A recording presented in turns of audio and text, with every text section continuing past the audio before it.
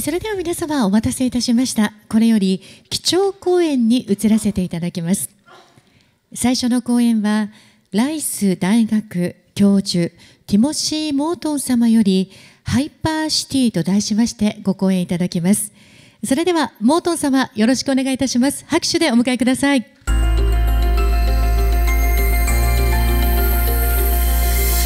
Hello everybody. Hello. えー、皆さんこんにちは、えー、ティムと申します。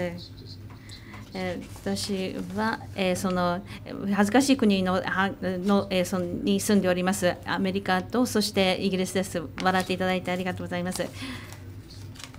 さて、え最近、インドネシアにおいて起きた津波というのは、え非常に壮絶なものでありました。いろんなところに私、え行きました。昨年はシンガポールに行きました。えそして、インドネシアで働いている人えと会いまして、その都市に関してお話を伺うことができました。インドネシアの地理について詳しいわけではありませんけれども、しかしながら、そこの都市については少し情報があります。ジャワ島におきましては、火山まで到達することができる、どこにでも行けるそうです。そこでハイパーシティという構想が生まれました。この都市というのはメガシティよりも大きなものでありまして、物理的に大きいのであるけれども不思議なことに小さくもあるということです。広い分布によって他の場所とは違うからです。そしてそれはつながりがある。そしてアイコニックでもなく独立もしていないということで興味深いと私は思いました。数年前にハイパーオブジェクトという言葉を発明しました。これがハイパーオブジェクトスートです。えー、こちらがですねニューヨーク市にありますラバシ・ロズボロのものなんですけれども、えー、私はモデルとして活躍しております。笑ってくださってありがとうございます、えー、ちょっとエゴが満たされますので皆さんどんどん笑ってください。でハイパーオブジェクトという言葉です2008年に書きました、えー、 Ecological Thought という本を書いている時だったんですけれどもハイパーというのは超えるという言葉です。ギリシャ語です、えー、オブジェクトというのは話しにくい概念です。と言いますともそれは近代的な哲学という観点で意味しているわけではないからです。カントとヘーゲルの系譜の,、えその哲学です。それらのシステムにおきましては、客体と主体があります。主体というのはいろんなものをえ包含します。関東にとりましての主体というのはえ、その先見的なえ主体ということです。ヘーゲルにとりましてはえ、主体というのはディサイダーと呼んでるんですけれどもえ、彼はガイストと呼んでいるものえ、精神というものであります。え歴史の魂であります。これについてもう少し詳しく説明したいと思いますので、これを忘れないでください。えー、さて主体客体の二元論というのはデカルトの時代に遡ります、えー、レースインテレクタスその知的な思考そしてレスエクステンサーというその延長をするものであります。関東はデカルトよりも超えていると言っています。存在論と呼ぶものを導入しています。これはキリスト教神学的時代の現実に関する根拠のない主張ということであります。特にそしてまたこの二元主義というのはデカルトよりももっと遡ります。デカルトは彼が呼んでいるスコラ学を超えるとしています。中世の哲学で彼はそれを気に入っていなかったのです。ですから、まあ、そういうものは嫌いだということでありました。しかしながらそれを超えているわけではないのです。したがっておかしな状況になってまいりました。哲学者として近代的だと言いながら、すなわち哲学者が根拠のないその主張や概念、そして中世のスコラ学というものを超えると言っています。存在論というのはその禁句と言われて、そして他方、それを使う哲学者もいるわけです。大変ではないのです。え当初のえ構想があるということを忘れるべきなのであります。これはその客体とは違う、主体と客体は違うということでありまして、そこでそのオブジェクト思考の存在論が重要になってまいります。この理論によりますと、物が存在するためには、他のものと同じように存在しなければならないのです。ですから文章というものがあるならば、え猫と同じような存在でなければならないです。本当に猫であればということです。まあ、ここに猫がいるということではなく、えそそれはま科学者の仕事ではないかと思います。え木や鉛筆、えティム、え猫、えレクチャー、えそして、え猫に関する考え方は全て同じ形で存在するのです。どのように存在するのでしょうか。えそれは、えそれは何かということ、そしてどのように見えるのかということに関して大きな違いがあることによって存在するのです。どのように見えるのかということですが、どのように他のものに使われるのかということ、えー、壁がある、それを登ることができる、銃を撃つことができます、それを無視することもできます、詩を書くことができます、あるいは、えー、東京での講義の、えー、例として使うこともできます。すなわち壁を見ると、えその、え壁を一見するのです。壁をえー、登ると、えー、まあ、その壁を登った、そしてまた銃を撃つならば、えー、そにそこの壁に穴が開くだだ壁その自体がないわけです。アリストテレスのおかげで物のことを心配しなくてもよくなりました。ギリシャの本質ゆええー、すなわち形が重要ということです。アリストテレスはそのように言っていました。えー、形が重要だということです。そしてその何のためなのかということです。えー、そしてさまざまな人によって作られている、えということであり、その仕組みに関しては制限的な民主主義がある場合、その形が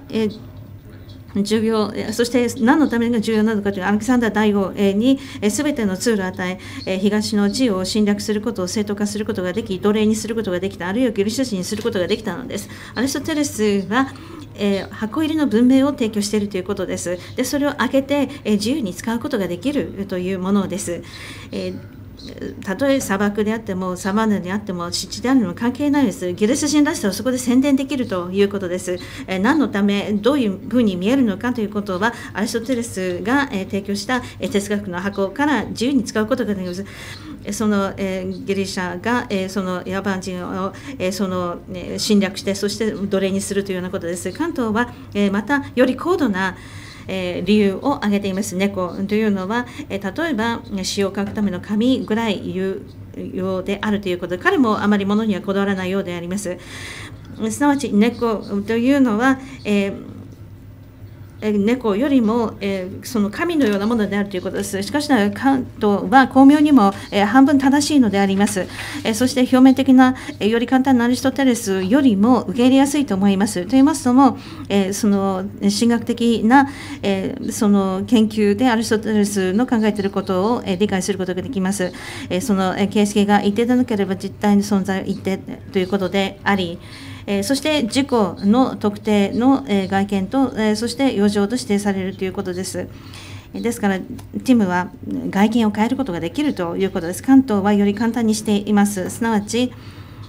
何か物を取ろうとすると例えば黄色のレンガである先ほどの壁の話ですけれどもどのように手を伸ばしたとしても実際のそのレンガそのものをアクセスすることはできません。レンガのデータをアクセスしているのです。ということはブリックにレンガに関するものですけれどもレンガではなくデータであります。そして気がつかないかもしれませんが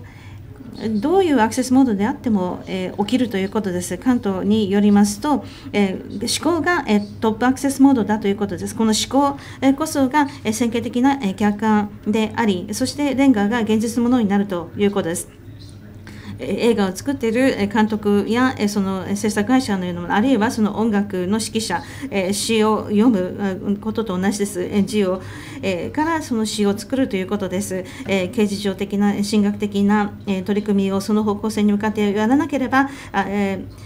アリストテレスでなくカントに合わせることはできないのです。簡単なポイントとしてはカントは例で示していますけれどもでそれを使うことを恐れていたということですがアクセスモードはどんなものであれその最も素晴らしい適切な形のレンガを包み込むことはできない適切にはできないということでありました。レンガでのことを考えることができます。レンガを舐めることもできます。そしてそれはレンガを舐めるということです。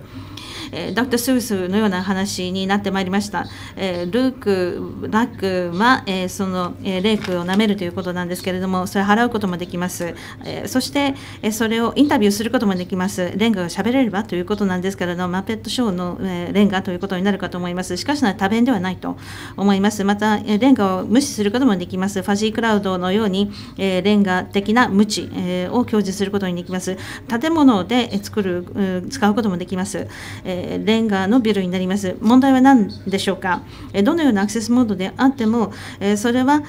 えーえー、レンガのパックマン化に相当するのです。すなわち人間ではないものは、えー、例えば、えー、レンガにある、えー、その、えー、ハエや、えー、バクテリア、そしてまた、えー、レンガを食べてしまうパックマン、えー、などは、えー、いずれも、えー、その、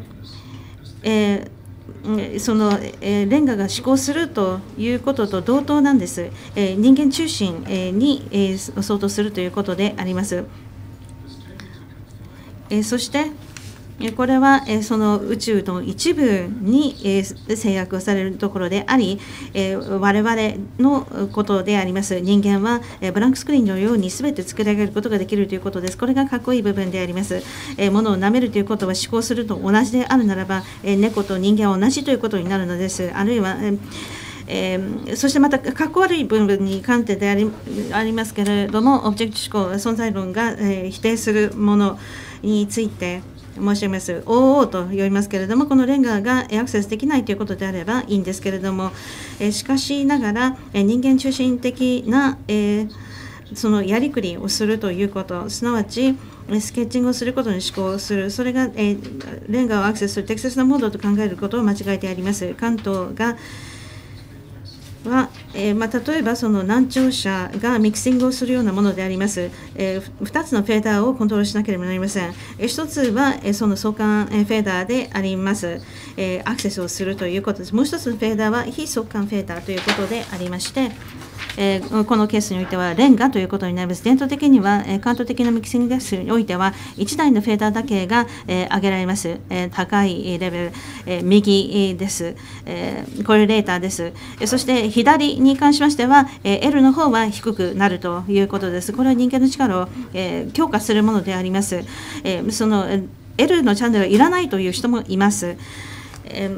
モノリミックスをカントでするということで、えそれはステレオよりもいいのではないかということです。言わんとしているのは、このように、ね、レンガをアクセスすることができないので、それ自体が、えその先見的な、えその主体の、えアイデアであるえ。本真実ではないけれども、それはアイデアです。レンガはレンガでもないのです。えー、主観主体主体がそれを、え決めなければ、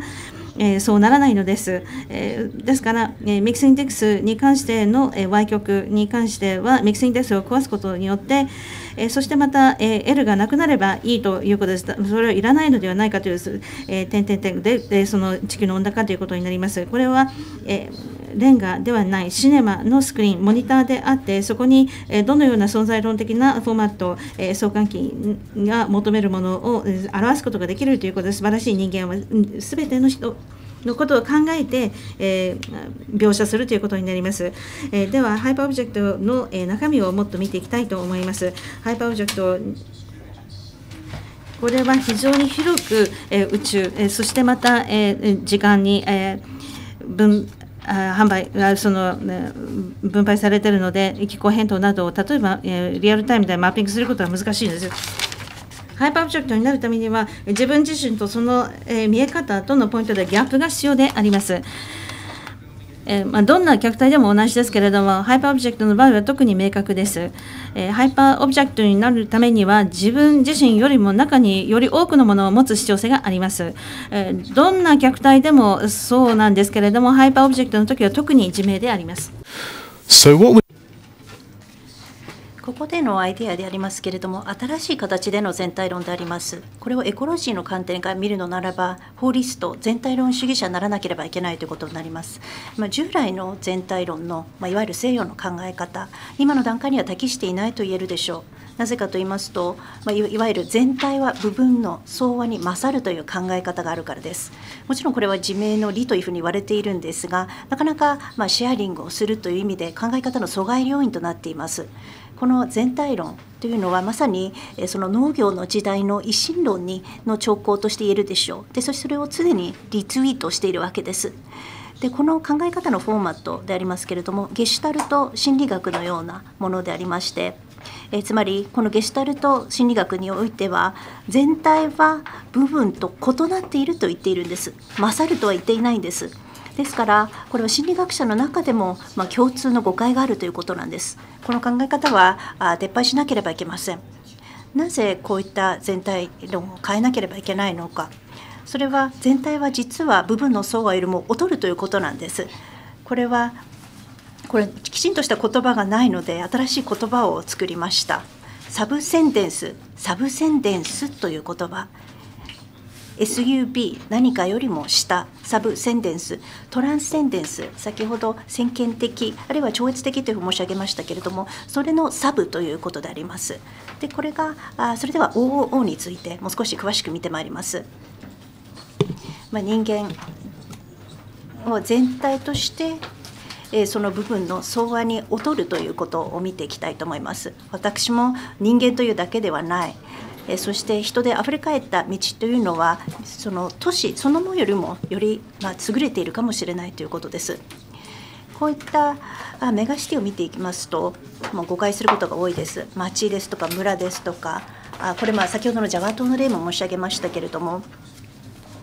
実は火山があることによってそういった村落が実際に広がることを食い止めているわけではあります。ですから生命への脅威というものが、まあ、制限であるわけです。ですからこれはメガシティではなくむしろハイパーシティだということであります。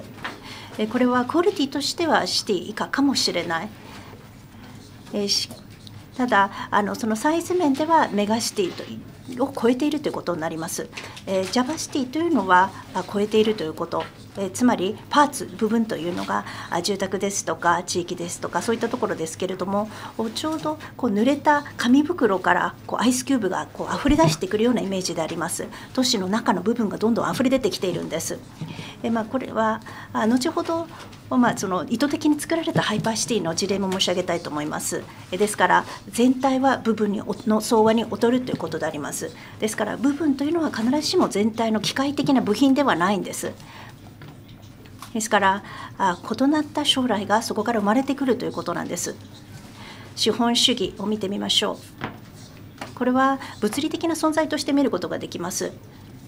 えこれは、まあ、その信じることをやめたらなくなってしまう摩擦というふうに見るのではなく物理的な存在であるということであります。サブセンデントなのであればそれを変えることができるということです。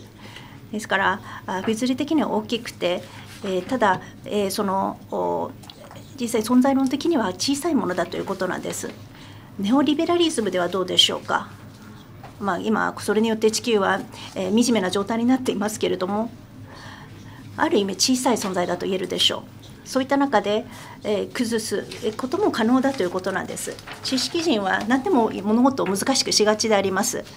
えー、我々の仕事はあその難しく話すことによって、えー、他者にひより秀でるんだと、まあ、そういった悪いことばっかり言ってるのが知識人なんですけれども。で私もそうです。ありがとうございます。えー、ちょっと緊張してきてるんですが、ありがとうございます。ですから、我々は常に誰のその世界観というのがよりひどいか、深刻なのかということで、お互い出しに行こうとしてるんです。えー、私のネオリバネオリバリズムの絵というものはより恐ろしいんだとですからそこから逃ることができない。だから私の考え方はより優れているんだという考え方です、えまあ、皮肉な理性と言われているとこなんですけれども過去200年それが支配的な考え方でありました。先ほどのサブセンテンスを実際に実証するためにはあまあ、これ皆さんも抵抗感を感じると思うんですけれどもそれは重要だと思います。えつまり、え全体があその部分よりも劣るということなんですがそれを考えるためには物のグループというのが物と同じだということなんです。つまり物というのは他のものと同じような形で存在していると考え方であります。文章はワールドプロセッシングのプログラムと同じような形で存在している。木も森林と同じような形で存在している。それから考え方アイデアというのも天体と同じような形で存在しているんです。ただこれは生きる権利が同じだと言ってるわけではありません。エイズのウイルスがエイズの患者と同じぐらいの存在の存在する権利があると言っているわけではありません。ですからあ、まあ、これはディープエコロジーの問題であって、えー、そのエコロジカルな政治政治の問題ではないということであります。えー、ガイアの仮説、えー、バイオスフィアでありますけれどもこれは全てのものが置き換えられる考え方っていうのがあります。これまさにその農業の時代の農業革命の時代の宗教なんですけれどもまさに社会的心理的なそして哲学的な陰謀だというふうに言えるでしょうか。あその結果、まあ、大量虐絶滅にもつながってしまうかもしれない、えー、まあ、気候変動というのではなく私気候温暖化というふうに言ってるんですけれども気候温暖化というのは最終的にはあ大量絶滅につながってしまうかもしれないというふうに言っております。えディープエコロジーはですから火を持って、え火に戦うと火と戦っていくということであります。木は、まあ、森林と同じような形で存在をしております。ですからあその部分があその全体を上回るということは勝ってる優れているということではないんです。ネオリベラリズムではあそのホーリズムえー、ホーリズムが、まあ、全体論が優れているというんですけれどもそうではないもちろん全体論というのは必要であるただ個人も重要ということなんです。気候というのはその天候よりもその存在論的には小さいんです。その気候というのはまあ、全て天候というのは気候によって引き起こされるものですね。ですからあ単にその気候の特徴特性だけではなくその他の意味もあります例えばにわか雨なんですけれども鳥にとっては水浴びの場所かもしれないヒキガエルにとっては産卵場所かもしれない、えー、そしてえ私のこの腕にこう落ちてくるにわか雨というのもまた別の意味を持つかもしれません。ですからあ人間があそのいろいろな形で非人間的なものを実際に今と共存しています。例えば体を変えて性転換をしたり装飾的な人工装具をつけたりしております。そして人間は非人間的なもの例えば微生物ですとかそういったものも実際に体内の中に取り組んでいる取り込んでいるわけであります。そういった中で人間というのは部分的なオブジェクトあるいは一連の部分的なオブジェクトと言えるでしょう。そしてこれはあその内発性の内から爆発するような全体を構成しているということであります。この部分性なんですけれどもいろいろな次元で展開します。時間もそのそうであります。ですから何らかの実証イベントというのはあパーシャルな部分的なオブジェクトであります。ですからイベントというのはイベントの中の一部でありますけれどもその全体というのは部分よりも劣っているということになります。封建時代の日本ですけれどもこれはあその、えー、2名の大名が戦ってるだけではない、えー、その後に、えー、その5年後に、まあ、ハエが実際に死体に群がってその後に、まあ、素晴らしい花が咲くかもしれない、まあ、そういった進化のプロセスがあるわけです。ですからあ実際にそのもの自体になるということは実際に穴の開いたあバッグで袋で、え、水を、ま、パンパンに入れた状態だということであります。穴が開いたバッグですね。ですからあ例えば怒りという言葉があります。これは全部を網羅する言葉ではありません。いろいろなその感性のひだですとか微妙な動きを怒りという言葉だけで示すことはできません。例えば何らかのユーモアが入ってるかもしれない。あるいは性的な劇場もあるかもしれない。悲しみもあるかもしれません。ですから身体的な特徴というのはフラクタルな次元数の考え方ができるかと思います。フラクタルというのは部分的な数であります。そしてくねくねとずっと動いて無限に繰り返すことができます。美という話がありますけれどもこういったこのエコロジーのところ時代では違った見方をされます。まあ、先ほど水がパンパンに入った穴が開いたバッグというお話をいたしましたけれどもこういったあこういったものにはいろいろな非人間的なものを実際に包含することになります。キッチュという考え方がありますけれども遊び感覚のある面白いキッチュという美の感覚ですね。実はジョルジュ・バタイユがその普遍経済という考え方を出しております。ですからあまさに非人間的なあそのモードというものがあ人間的なものに取り込まれているということであります。こういったイコロジイコロジカルな政治の中にはこういった楽しみ遊び遊びというものを取り込んでいかなければいけない。えですからどんどん穴が開いて無駄なものは出しつつその場を楽しむようにしていかなければいけないということです。スペクトラリティスペクトルの状態、えー、亡霊性という言葉がありますけれどもちょうど X メン X マンのような映画のようなものですね。それでキッチというのはあ他の人間によって楽しいものであります。こういったエコロジカルな時代においては正しいものというものは一つではありません。美というものは実際にいろいろな、ま変な部分も取り込みつつそういった誤行がありつつ美しいものとして評価されるのであります。生物は形態、まあ、X ライフォームということになります。